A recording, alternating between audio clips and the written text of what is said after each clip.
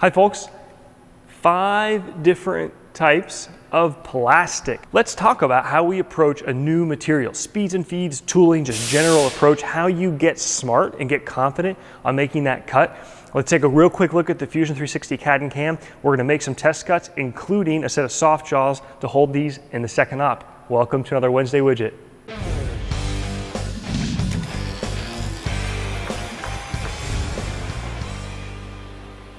Speeds and feeds. All right, new material. Folks, Google is your friend. You need to learn to help yourself. A simple search, machining polypropylene, takes us to a practical machinist forum. And don't get too sucked in. There's a bajillion opinions out there, and as much as I'm advocating the internet, I will also tell you uh, you can't take it all as as pure fact and truth and the only way out because lots of people have opinions and thread forums tend to get off topic pretty quickly. But nevertheless, it's a good thing. What I want you to also know is you need to be smart about your searches and link in the video description to this Google support page, which is search term modifiers. In other words, how to get better Google searches. If I'm typing machining plastic, for example, and then let's say I start getting a bunch of results on injection molding, type in minus injection. You can do a lot of modifiers. It's more than just this minus one. Again, click on that link in the video description to read about combining perfect statements or quotes or ors or um, searching for ranges of things. Really, really important thing to do. The general rule with plastics, though, is you need to avoid melting them and you need to have a sharp tool. I usually use, and link in the video description to download this Excel sheet, quarter inch tool, we'll do three flutes, and I want to move pretty quick 0.00 say 4 thousandths per tooth and 10,000 RPMs on my 440, 120 inches a minute. That's just literally what I was thinking because, again, I don't want to do anything that's going to cause rubbing or burnishing because it's going to melt that plastic. Let's pop into G-Wizard, which is great, again, for when you have mystery materials. If I click on plastics, and then check this little more out. You wouldn't know it, but that more lets you actually go through and pick specific materials, like in this case, polypropylene. Quarter inch end mill, three flutes, quarter inch depth of cut, 20% uh, width of cut, 0.05. Take a look. They're telling me to go 10,000 RPMs, in other words, use every RPM you've got, and 135 inches a minute. That's pretty darn close to what I came up with. That's another confidence booster. That tells me I'm in the right ballpark. We're lucky here. We've got a test material block that we're going to take a real quick test cut on. Let's do that. 2D adaptive strategy, 10,000 RPMs. We'll go the full 135 inches a minute. That's actually also all of the RP uh, feed rate I've got on the 440 and 20% width of cut. We'll leave nothing on the floor, no axial stock to leave. We'll leave 10 thou on the wall. You got to be a little careful here because again, you um, you can do that, but you want to make sure when you clean it up, you're going just as fast because I don't want to rub. On the flip side, remember adaptive strategies in Fusion 360 are never finishing strategies. So same thing, 10,000 RPMs, 135 inches a minute. Little trick to avoid leaving that tooling mark along the floor, we're using the same tool here, so it's not as much of an issue. But sometimes if you've mismeasured a tool by just a few tenths, what I'll do is under stock to leave, I'll say half a thousandth axial stock to leave, and that'll keep that tool off the floor. Uh, and for most applications won't cause any problems with the tolerances. So let's go run this block real quick and just see what we get.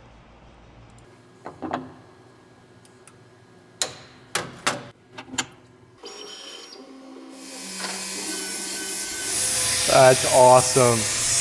Look at that. So we're making a real chip. That's what's used. And yeah, we're going fast, but there's no horsepower requirements to this. Now I think this is gonna be the easiest of the plastics. Some of these other plastics have glass in them, which for me is usually like a, don't do it. Uh, you can, it's really hard on your tooling. Glass will just wear your tooling out. Should be the cleanup pass here.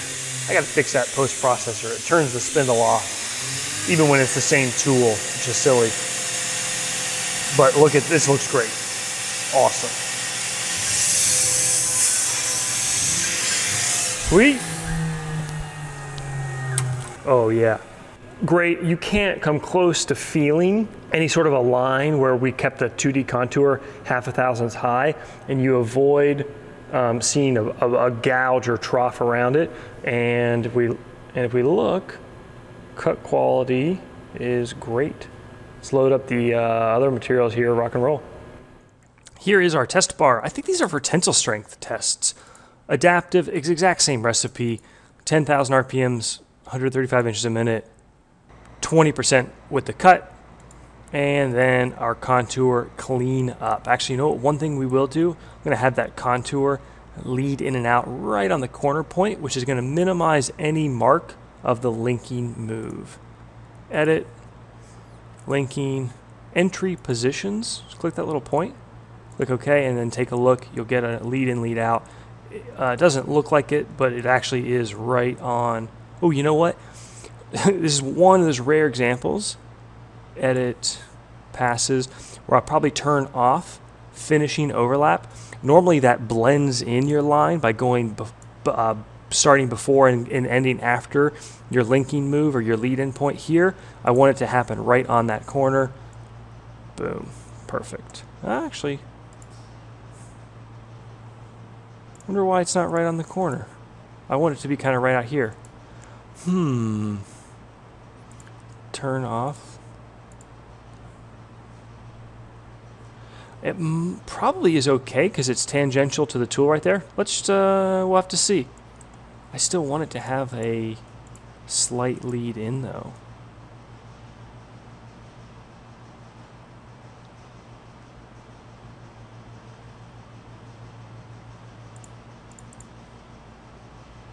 Okay, this might do the same thing. Simulate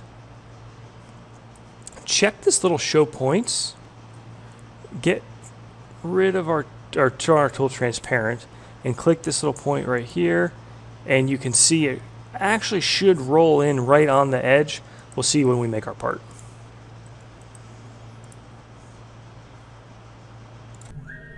Let's rock and roll.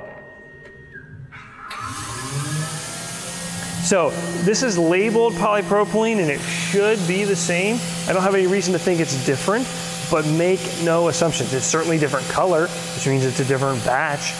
And again, I, I don't mean to hype overreact. Well, that's awesome. Probably okay, and actually, yeah, looks fine. But you just gotta, one thing I'm learning uh, as I grow as a machinist is make no assumption. Material can be, can be mislabeled. It can be have hard, like steels can have hard spots or soft spots, or castings can be peculiar. Like stuff happens. Uh, don't just make assumptions and assume everything is correct. Another thing, use a new tool. Here I'm using a new tool because I don't want any complications of having used an, an old tool by accident. The other thing is I want a sharp tool, and I know a new tool is going to be sharp tool. That was quick, wow. And then finally, I'm learning as well not to mix tools between materials. So for example, if I have an end mill that I use for stainless, I try not to use it in mild steel.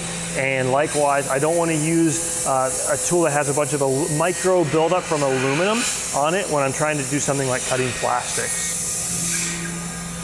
If you have really high RPM routers, we'll talk at the end about different tooling options. This looks great though. All right, now we need to flip it and deck it. Let's go make some, whip up some CAD CAM for the soft jaws. And at the end of the video, after we deck this, we'll machine the other four types of plastics. Let's bang out some soft jaws. Hop back into model. Right click, new component soft jaws. I am going to hit R for rectangle and what plane? This plane right here will work. Mm -hmm. So the guys I've got are four by one. Click on the point and I want to put a point along right there. See how it snaps to the center? And then I'm going to do this, L for line. I'm going to snap a line between here. Click on it once to highlight it. See this here? Toggle normal construction. Put a point on it. Yes, there may be faster ways to do this, but I like being methodical and it's pretty quick when I'm moving at normal John speed, trying to slow down for the videos horizontal vertical. Click here. Oop, click here. Wrong way. No big deal. Hit on Control Z to undo it. Drag it over so it's a little bit closer. Horizontal, vertical. I like it. That's lined up. So basically, we centered our part in our soft jaw. Again, normally much quicker. 0.2 inches, 2.5, nope, 0.2. Yeah, it's good enough. Uh, yeah. E for extrude. Watch this. So easy. Click this, go down. I don't really care how much down I go. E for extrude. Oops, nothing to click on. Cancel. Expand my soft jaw. Expand my sketch, turn that sketch on. E for extrude. That's weird. Normally it uh, projects on, no big deal. Right click, edit sketch, P for project. Watch this. Click this shape, and it projected the profile of that part onto that plane. Click OK, stop sketch, E for extrude, boom. We'll come up 0.25. That's going to give me a good amount of work holding. Important that it's a join operation. This is what it should default to. It looks like it's a separate thing. That's actually just the sketch kind of poking through because our sketch that we created to make the soft jaw is kind of in the middle of the soft jaw. No big deal. Turn off my part just to take a look at that soft jaw. Looks beautiful, and that curvature should give it plenty good of good locating material. Even though we really aren't on the flat spot anywhere, I think these ought to work. Now, how do you create the opposite soft jaw? Create pattern, circular pattern but we're not going in a circle. Eh, just everybody calm down. We do happen to have an origin through our center here. So pattern type is a component. Click soft jaw. What's our axis? It is that center axis. I don't want three, just two. You could do a mirror pattern as well, basically the same thing. For some reason, sometimes I like circular pattern a little bit better. So now we've got the two components here's the thing we don't even need the second one because when we go back into cam we're going to do a new setup. Body is not two bodies so delete that with a little x. Just pick my soft jaw. Stock i've got stock errors ignore that. Fixed size box 4x1 great. I can turn my uh, see up here expand that and turn my part off so we're not looking at it. Basically i just need to get rid of this little area here I you will prefer to have the origin be, we'll do it this side here. Click OK. Now, you have to use templates. Card here to a video on creating templates. Right click, create from template. Where'd they go? They just moved templates on me. uh, how does this work now?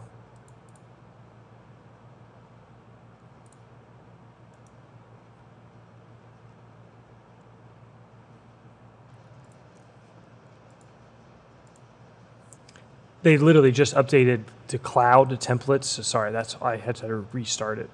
Right click, create from template, 440 soft jaw. Expand the little triangle. I wish it auto expanded. And boom, everything's right there that I need. 2D adaptive, all I've got to do is pick that edge, click OK. 2D contour, same thing. Click OK. And then 2D chamfer, one, two. Now, that was not what I wanted. Delete. Hold down the Alt key. That lets you pick individual chains. Actually, here, uh, here I'll hold down the Alt key. Here, it's going to be faster than picking, well, six one, half dozen the other. I'll pick the whole thing. Yeah, I'll do the Alt key. Sorry. One, two, three, four. You could pick the whole thing and then deselect what you don't want as well. Five, Okay. And we're done. Soft jaw madness. Oh, now look, it's not giving me a chamfer along that edge. I bet you I need to increase my chamfer tip offset. So what, what does that mean? Take a look. If I go into simulate and I click on the point here, you can see I need to offset the chamfer tool more to cut more with this high end of the shoulder to keep the solid, the shank of the tool away from our solid model up here. That'll let me chamfer that whole edge.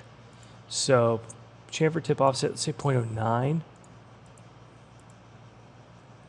That get it? Yep, that got it. Take a look. Boom, just like that. Just, just the slightest edge break and the solid shank of the tool stays away from our part. I almost forgot. Now how do you machine the other side? Click all three. Right click. Add to new pattern. What kind of pattern is it? Circular axis, the same one. Just two of them. Order by tool, which is fine. And then boom, take a look. We have our matching soft jaws. I like it. Let's go make some soft jaws. Soft jaws. These are the guys we want.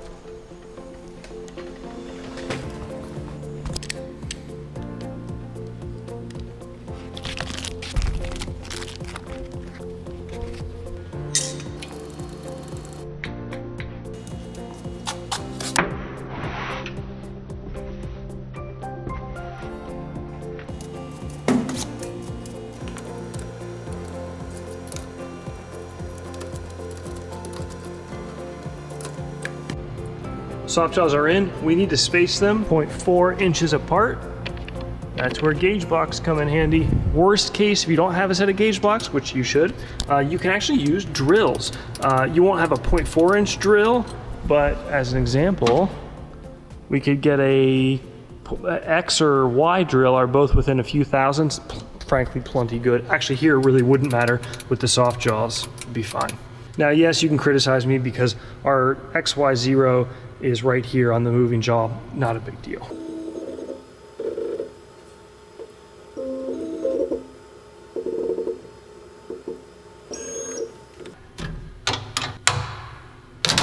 different end mill. It's the same part number, but this is one that we use to cut aluminum. I'm not gonna mess up my good plastic one. I wanna keep it sharp and free of aluminum.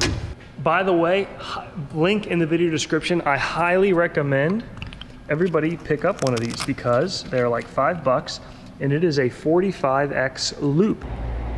But it is an incredible way to get an up close look at your tool, which is great. You can see if there's a little chip, you can see if there's buildup, you can see if there's some rippling along the edges. These things are, I'd say worth their weight in gold, but they're so cheap, I don't know what the better analogy is.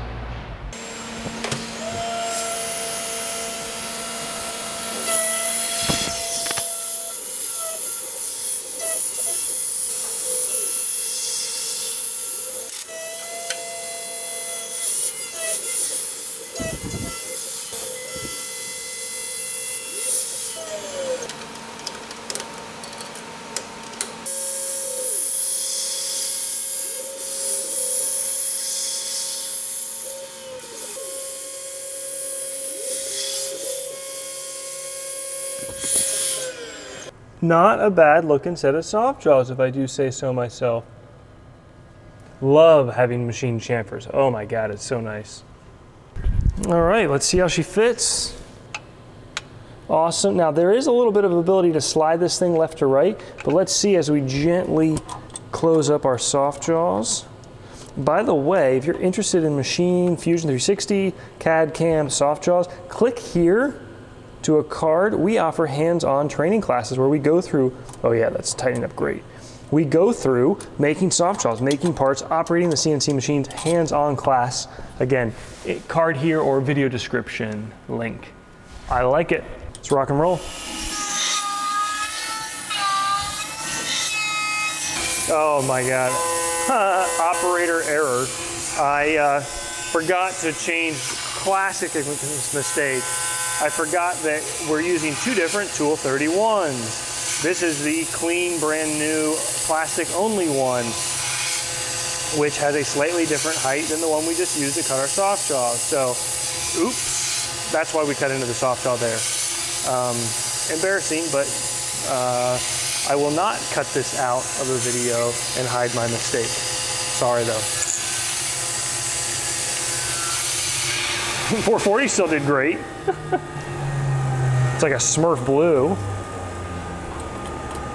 Other than having the wrong part thickness, it doesn't really hurt anything. We can still use the soft jaws for the other plastics. And there is our tensile strength test bar. At least I think that's what it's for. Voila. All right, let's cut up the rest of these uh, plastics. I think that some of these are not going to go well. We just did this one. These, two of these, I think have glass in them, which might be pretty gnarly. We'll see. Let's try this Radel 5500. Never heard of it. Same recipe. I'm not, so we're clear, taking the time to research this stuff. We're hearing a little bit of chatter out at the end, so that could be solved by not using a four inch vise, you know, using a five or six inch vise. Uh, some of this stuff that has plastic on it could wear out tools pretty quickly. And again, you really should research this stuff. Call up the plastics company, call up a tooling supplier. A lot of times uh, there's some good specialty tooling, like from a company called Onsrud. Uh, and the one I've got is from Amana, which is Tools Today. But these really, really uh, sharply ground positive rake, I believe positive, carbide or high speed steel single fluters. That looked great though. Other than some chatter, you don't even really see it though on the ends. That machined quite well. So here is some polycarbonate. Let's try it. I was gonna peel the uh, label off, but who cares? Just leave it on. Not gonna hurt anything. Well, I'm not, oh yeah, it's perfect. I was I'm not crazy about it being in the clamping zone. Boom.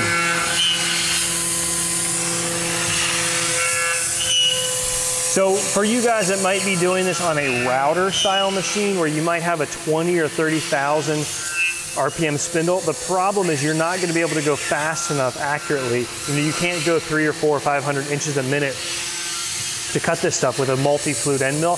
That's where those single insert cutters can be great, along with the fact that they've got geometry that is more specialty defined. You know, I'm using a Lakeshore Carbide end mill that really is meant to cut aluminum.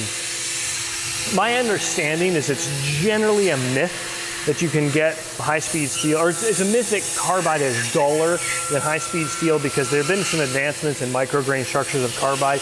Now that's not to say that all carbide is, isn't the same, and that's not to say that there isn't a reason gosh, this is going great, is you shouldn't consider high-speed steel in certain applications. That look that machine beautifully. Look at that. That's great. Tempalux. Again, never heard of it. Doesn't mean a thing though. So yeah, as a general rule, there's no high-speed steel in our shop anymore. Carbide is just so much stiffer uh, and that to me is generally really important. The exception might be a, a custom form tool that's high-speed steel. And then again, yes, if, if you speak to a you know plastics specific company, maybe that's uh, you they may recommend a tool, and that's that's okay. God, this is cutting great. The last piece that we're about to cut after this is the same thing, but it's got some glass in it. I'm very curious to see how that runs. we're making a, it's, I'll just show you guys the, well, you can see in the GoPro a little bit, like the shop is a mess. It's almost as bad as the pumpkin days. It's funny, we're still getting some comments on that pumpkin video of people that are upset that they don't seem to understand that it was a joke. So whatever Tempalux is, uh, it was no match for this. Like phenomenal sidewall quality. You're not seeing, you know, a lot of times what you'll see with plastics is it'll melt or tear and that's no problem here. All right, the last one, will this be our uh, Achilles heel? Tempalux 20% glass. So far the biggest goof in this whole video was when I didn't uh, update my correct tool number 31 height, which is proof that CNC machines don't crash. Operators crash them. Is that parallel? Yeah, it's, it's seated well enough. Here we go. My guess is that the glass will be a problem not at first, but over time. You'll see that glass is really hard on tooling. It'll dull it, which is where you will start to see surface finish problems, especially with aluminum or uh, plastic. And you gotta be really careful. I don't cut glass stuff in my machine. So what do I mean by that? I won't cut G10, I won't cut fiberglass, I won't cut carbon fiber, but that's not glass. That, that just has to do with dust or graphite jobs. And the guys that do that all stuff all the time usually have either exhaust systems or coolant filter systems, just specialized stuff. This is going great. This is awesome. Wow. Shout out to a Lakeshore Carbide. I mean, again, having a good quality end mill here is, is, is a huge part of that success. And I'll end with just a quick example. Here is one of those single flutes. This is from Tools Today or Amana Tool, and they are beautiful tools. But here's the thing, this one for me at 10,000 RPMs, I would, because it's only one flute, I'd run it a third the speed to get the same chip load. So I'm happy with this one for what we're doing here. Hope you guys enjoyed, folks. Hope you learned something. Take care. See you next Wednesday.